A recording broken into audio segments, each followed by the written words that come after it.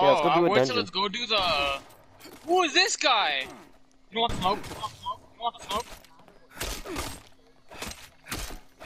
We just There ran the oh fuck god, out of him. You chopped his head off last second. What's wrong with you? Yeah, No, we were just rushing this ghoul. We ran him for his foams. he got me for my phone.